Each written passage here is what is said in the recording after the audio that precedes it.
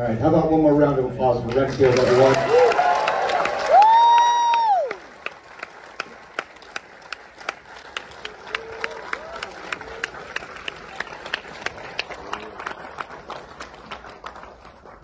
And Dracula. I said it before. Please welcome Nicolas Cage.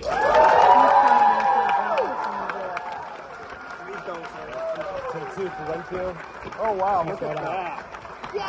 Yes, yes, yes, yes. You gotta, you gotta. The tattoo guy is giving an autograph. That's awesome. Real tattoo. yes.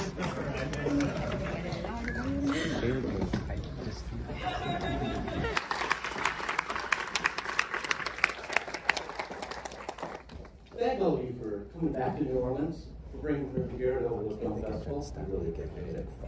Um, I want to start off. I want to ask a question because I think I want to ask a question. I think all three of you had a hand in. Renfield does such a great job of, you know, acknowledging and drawing inspiration from and referencing just the classic lore of Dracula on screen. Uh, but at the same time, you obviously you gave yourself so much freedom to just make it your own and do what you wanted with it. So I was wondering if you can kind of talk about like how you found that balance of reverence and invention. I think that's probably Sergeant Kirkman's uh, treatment in your script. Correct. um, yeah, I mean, I think first and foremost, it's like, you know, the, the idea of the ultimate narcissistic uh, human being kind of archetype, and then use map on Dracula lore on top of that. And that's kind of, you know, I watched the YouTube video. Uh, all the best Dracula movies, and guess what was considered the most um, accurate to the book? A 1971 Hungarian movie you've never heard of. But after that, it was the Coppola one. So anyway, yeah. I think you know it's also you know, a lot of it was script, and you know it's very intuitive to, to think of Dracula as the boss model, and that made a lot of sense at least for me when I, when I was looking at it. And, you know, I you know I wanted to make sure that our movie obviously had a lot of love to the past, and I wanted to try to connect to um, try to connect to the, you know, the original Tod Browning. And, you know, if the studio had let me, I would have fucking you know had you know Nick Cage as Dracula and every version of he would have been, you know, he would have been Chris Lee, we would have done a hammer, we would have done a hammer bit, we would have done a Frank Langella bit, you know, we would have done, it would have been 40 minutes of just stuff from the. I mean, we'll take it. but what did you love? I mean, you know, Nick, Nick and Nicole shot a lot more stuff, you know, we did you know, much stuff with Tod Browning things. They both of them shot this one. And then how about you? Did you, you know, what, which ones were you? Which Draculas were you watching over and over again? Well, Dracula is a, is a character, as we all know. It's been done many times. Um, it's been done well a few times, uh, but the lion's share is it's been done not so well. And I think the ones that I looked at, just as a starting point, were of course the, the Bela Lugosi one. Um, but but Bela, as great as he was, and that wasn't my Dracula. My Dracula was Christopher Lee. I loved him I loved his 60s hairdo. I loved the clothes. I loved his animality when he was on attack. And I looked at Oldman. I looked at Langella. Langella, I thought, brought a, a real charm to the Dracula character. But again, that was a starting off point. I had done Vampire's Kiss. Yeah. Yes. Um, a Vampire's Kiss, for some reason, I started thinking about my father, who always, he was a literature professor and he was also a writer. And he always spoke with distinction. He was like, in English, let me explain something to you. and, and Chris said, well, that's a good voice. Because we didn't want to do the, the, you know, the Transylvanian accent. So I landed on that mid-Atlantic accent that my dad had, and believe it or not, I thought about Anne Bancroft as Mrs. Robinson in The Graduate. she had that mid-Atlantic accent too, and there was something very Dracula seductive about her in that. So those were the two influences that I most looked at. But having said that, there was so much that just occurred on the set. You know, you open yourself up to the imagination, and I was supporting Nick Hoult, and I got to watch him. I, I worked with him on The Weatherman, but in this one, I got to see his comedic timing, which he has. He's so gifted with that. It's in his body that timing, and then he could turn on a dime and be vulnerable. And I thought, okay, well, as a supporting actor, I'm gonna do this dance with him, and he helped me find where I could go. And then Chris was really on point. It's his vision. He's finding the right tonality. You all probably, you all love the uh, American Werewolf in London, right? That- that- that- I saw that in the cinema as a teenager, and that I've always wanted to capture a tonality like that. I, and this is the first time I think I kind of got close with Chris's direction. He kept us in that zone. You talked about you know, being on set, coming to life and learning new things. What about being, being here in New Orleans? Like, what did that bring to the film? Um, I mean, again, when you talk about connection in the past, I mean, the, the, reason shoot New Orleans is because it's got, it's the only city that feels like a European city in the United States. So there was some, you know, French and Spanish architecture and all that kind of thing, you know, connected us to, to Europe. And so it felt like, again, you're kind of doing something new with Dracula, putting him here in the modern world, uh, but also still kind of, you know, reaching back to where he came from. And then just, you know, the fact that there's, you know, Vampire Cafe. You know, things like the Anne Rice, you know, and all of that stuff just fun. So, you know, you know, I love New Orleans, so I always wanted to shoot here. So, it was self, selfish reason. Yeah, it's, it's a great, it's a lot of fun to be here. This set had to be a lot of fun too. I mean, you've got some amazing talent, uh, both here tonight, but then also like Awkwafina, uh, then Schwartzman. I mean, some great comedic performances. How much did you get to stick with the stage, or with the, what was on the page when you were filming? And how much did you give people just the freedom to play? I mean, I, you know, obviously, like we, we, uh, we have a writer here, so. Yeah. I, uh, The um, best lines were improvised, believe me. believe me. And Ben had some amazing stuff. But yeah, Ben, Ben was amazing. I mean, you you know, obviously with, with what Ryan had written down, we were all really inspired by that, and it was a lot of fun. And but I wanted to be able to play around, and uh, you know, Nick came with some really fun. You know, when he was talking with you know with the voice of his dad, you know, he sort of he was just wanted to change certain words because they just sounded like a little more haughty or a little older sounding, a little more antique sounding you know, and, and then just you've got Ben Schwartz, you've got Awkwafina, you've got Nick Cage, you've got Nick Hoult. Um, people brought a lot of you know fun, and I like I like things to feel really loose, and um, I want it to feel like you know like like spontaneous. And so anytime. Oh, sorry. What if my voice is really fucked up. I'm really sorry. But um, I, I wanted to feel spontaneous, and uh, and so uh, I, I you know we, we sometimes we'd start with a script and we kind of just kind of go away from it. We just just keep trying things and, and fuck around, and, and that's you know that, that's where we kind of had a lot of fun. And then sometimes that would inform stuff. We come right back to the script, and it's kind of you, kind of bring it back around to the script, and then it kind of makes things.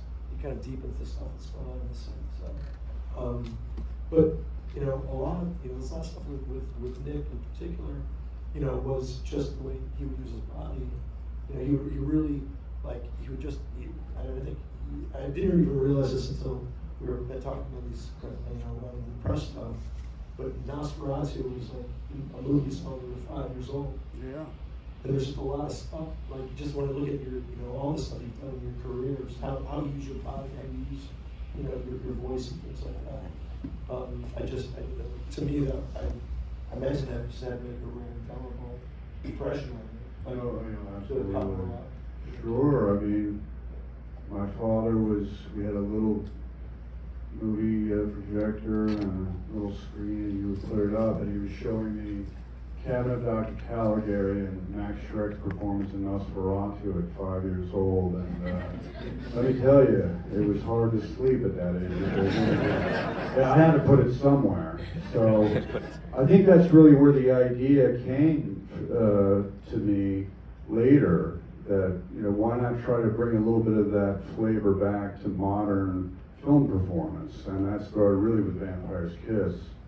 But I like, you know, that he, you know, Chris is somebody, he's a director. What, what I love about working with Chris is he's, first of all, he loves actors, and he and he does make you feel confident, and he knows what to tell you to make you feel free. You know, and that that comes from confidence. Uh, I'd already been a fan of his movie, uh, the Lego Batman movie, and Smallville, and I knew what he could do with that. That he would he would bring something a special tone to this. But for him to let me, you know, I go say, well, what, what was it that Max Schreck was doing in Nosferatu before he turned into a puff of smoke and he does this little boop? I mean, that's such a just a simple gesture, but it has so much meaning behind it, and yet it's so abstract. It's just minimal, but it's like dance. And then I, I wanted to do this this posture. just kind of like a sort of a kind of a Jagger Iggy Pop thing going on. But he was like, "Well, this is the rock and roll Dracula, Nick. You gotta bring that to this this character." I would, I'd love to bring you guys into the conversation. If anyone has a question, you can raise your hand. First hand I saw was right over there. Um, I wanted to ask, who do you think would win in a fight? Um, you playing Dracula or you playing Ghost Rider?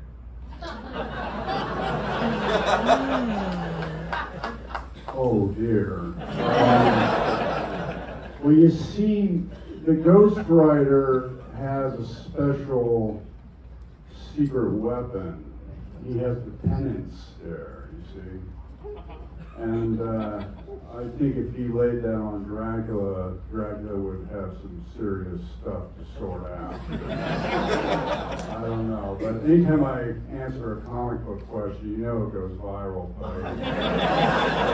oh, by the way, this man got a tattoo of this version Yeah. of Dracula, and it looks incredible. And I need to know the name of your artist because I might have to pay him a visit myself to get something. That's the, the attention to detail on that is superb. We drove from Chicago. We drove sh- from Chicago. He wants to see it.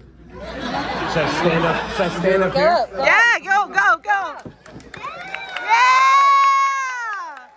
Woo! We had a close up on this, but this is. Look at this. Look at look at that artwork. That's the attention to detail on that. Yeah! His name is Matt Mueller. Out of Oak Forest, Illinois! Forest, Illinois. Beautiful, beautiful work.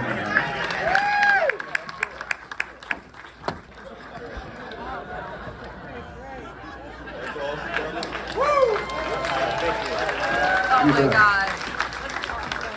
No, just say, you got a tattoo to get up here. So not everyone else has. It's a level of commitment you got to reward. Uh, any other questions? Right here in front, ma'am. Oh, loved it. It was great. Tell us about the teeth. Oh, okay, so that's a great question. So, so Chris put together just a fantastic team, and I had the good fortune of working with Christian Tinsley, who is a real wizard in the makeup department. And with Chris, we all kind of designed, uh, Christian Tinsley, Chris McKay, and myself, what this Dracula look would be. So Christopher Lee thing came into it, but also the teeth. And there were like, was it four different looks? Four different looks. One look was like eight hours in the chair, which was the, what we called the Picasso look, where I was really, one hand's over here and my face is like a Picasso painting. That was eight hours, and I would fall asleep, and it was like this incredible sort of like, makeup shiatsu, and they're like touching my face. Nick, you gotta wake up now. You gotta sit up, Nick. And but the teeth, we had different levels of fangs, but it was a lot of ceramic material and it was very hard to speak through it. So, because I wanted to speak with distinction, like August Coppola, I had to take the teeth home to the hotel and really practice with it to get some clarity with the vocalizations. But it was a lot of material in my mouth. But did you understand me okay, oh, Illinois? Yeah. Okay, Yes. good. That's, that's good to hear that. Good. Yeah, good job. Did you feel like you discovered things about the character once you got in the full I think that, you know, I was always, as you know, I was always fascinated by Lon Chaney Sr., where he could go. I think all film actors should learn how to apply their own makeup. And, and the thing about it is when you get the external help, and I'm really saying this, Christian and, and Lisa Lovaas, who did the Magnificent Wardrobe, all of that, yeah, incredible. All of that, that was, that was a huge part of the performance. So because they put it on me, and then it was like, no acting, please. You just sort of look yourself in the mirror and go, wow. And you go inside and you find something to, to inform that appearance so it feels real, it feels organic. You don't feel like you're faking it. And a lot of the, um, a lot of that's, a lot, a lot of the stuff in, in the end, end credits is from the uh, camera tests that we did with, with, with, with Nick and Nick Hoult. So that, so that, a lot of that stuff that Nick's doing there when he's, yeah, when he's, when he's doing a lot of the Max Schreck stuff and things like that, that's from our, for our camera test And we were all kind of really kind of inspired at that, at that. Oh, yeah, that was terrific because it was before it was definitely on, but Chris invited me to his office and he showed me some previs material and I knew right away he was on to something special. You know, he showed me like the, the, the bodies exploding and the different looks for Dracula. And then he had his own little camera and we just started fooling around and I started coming up with these moves and thinking about, well, why don't we like go right into the lens like the shark and jaws and show the teeth? And he said, oh, I like that, Nick. I like, I do that one again. And so we, even before it was definitely, you know, green light for the two of us working together, we, we, we just got into this creative spark together and there was a flow to it, you know, and I felt, I felt free with Chris McKay, that I could, he would let me go places, and that's always the best feeling when you're making a movie. I'll go in the far back row there, right? Dead center. Me? Yeah. Uh, I heard there was a dance scene. Oh, Uh, is that going to be in the Blu-ray? Yeah, the, the, the dance sequence is gonna be in the, in the- in the Blu-ray. We, uh, um, we, we shot this really wonderful scene in, um, this alley in, in Vernon Street, and, uh, uh, we, we had uh, Jackie Wilson's uh, song Higher and Higher. It's, it's after, uh, it's after Renfield, um, meets, meets Rebecca for the first time. Um, and so he's, he's sort of, you know, he's, he- he's feeling really great, and he goes out in the alley and starts dancing, and all these other, all these other dancers show up, there's three dancers, and there's a dancing maggots and dancing uh, dancing flies and things like that. It, it- it was, it was a lot of fun. It was just a little bit, unfortunately, it was a little bit redundant with the scene when he gets his apartment and that sort of thing. And so I think from a pacing standpoint, we had to take it out, but it is going to be on the Blu-ray. Um, we won't have higher and higher because Universal did not put up money for that. Um, but uh, uh, you can see the dance and all the dancers and turn, turn on this. So it's, it was just one of those things where the studio really wanted to make this movie, you know, fast. And so as far as pacing goes, they want to keep it all fast. So we- Can we sync higher and higher to the? you know, I- the, the, the funny thing is, I pitched that. I said we can let's let's do something where there's a countdown, you know, that people can sync the song to it, and they did not. They they're so everyone's so worried about getting sued. so, uh, there's another. They, they put a song that sort of sounds like Iron Iron Man. Yeah, you should turn the sound down and sync. it. I think we've got time for a few more. I'll go in the, the back back row there. The glasses. Okay, so um, even though this is a genre film festival, Nick, I know that you, especially in the last, last few years, done a lot of amazing genre films such like Color Out of Space and Mandy. Oh, wow. What is it as an actor, as a creative and film enthusiast that really draws you to a lot of these genre projects?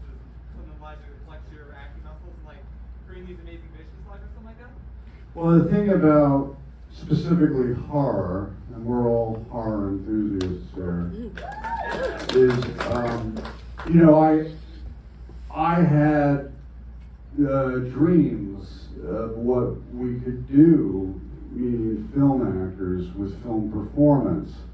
And I was interested in, like, I also had this idea that what you could do in one art form, you could do in another. So painters could become abstract and expressionistic, so could film actors. But the thing about it is, like, it, would, it wouldn't make any sense for me to go into that expressionistic style of acting for a movie like Pig. Um, because it, the context of the movie, the situations of the character don't lend itself to that. But in a movie like Vampire's Kiss, where the character is losing his mind, sadly, um, it's very conceivable that he could begin to think that he's Max Schreck and Nosferatu and start mirroring those moves so I could live my German expressionistic film performance dreams by playing this tragic character in a dark comedy about a man sadly who's losing his mind. Conversely, Dracula is a supernatural character who's signed a contract with dark forces, and that frees me up to be like the Iggy Pop you know, I used to have a fantasy that I was going to go on stage and I was going to be really skinny and I was just and the music was going to go boom, boom, boom. I was just going to have a microphone like this and all I was going to say as a rock star was trick, trick, trick, trick. And so I wanted to put that move in his movie because I, I was basically saying trick, but he didn't know that. But the point is, horror frees you so that you can have these wild, surrealistic, expressionistic moves and vocalizations.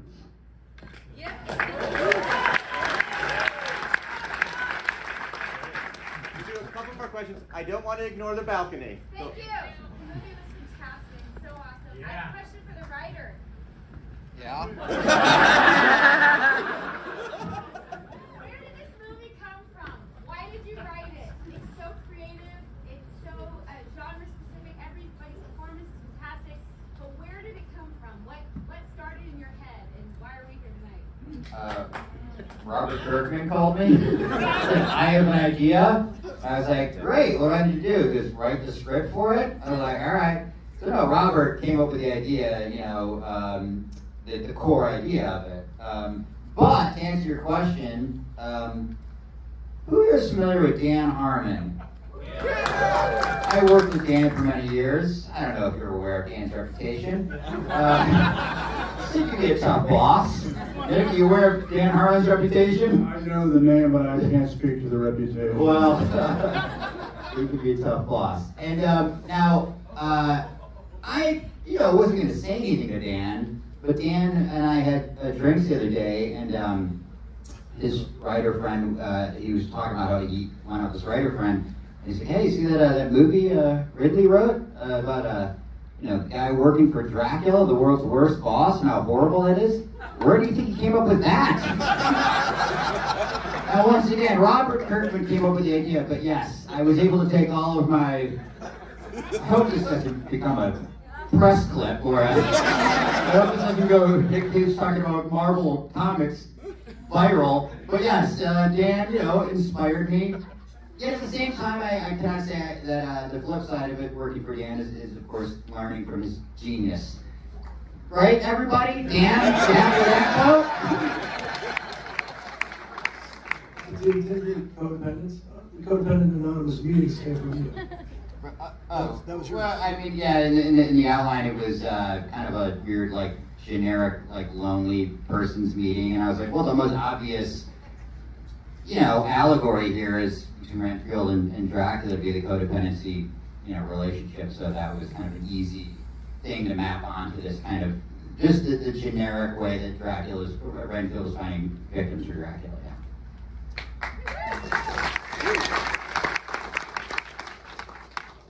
Last question, right there, Great, thank you. Um, hey y'all.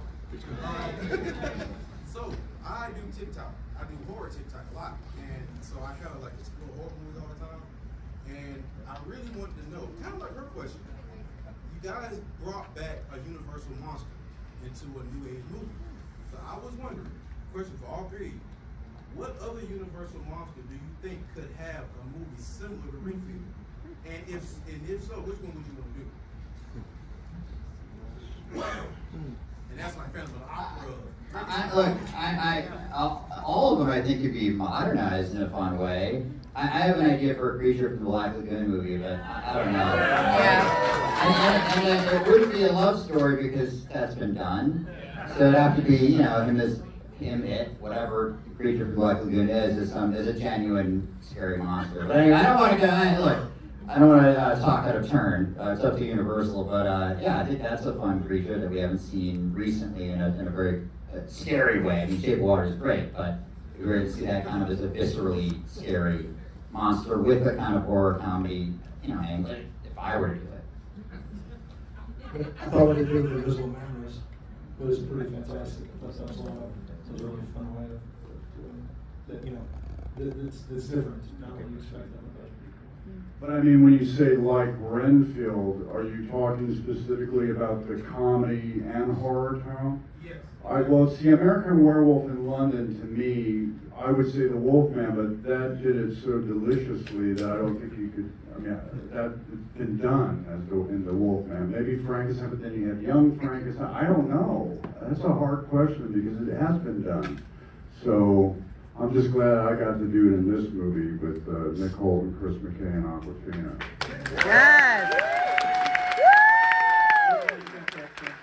Thank you, all of you, for being here tonight. Thank you. Thank you, guys.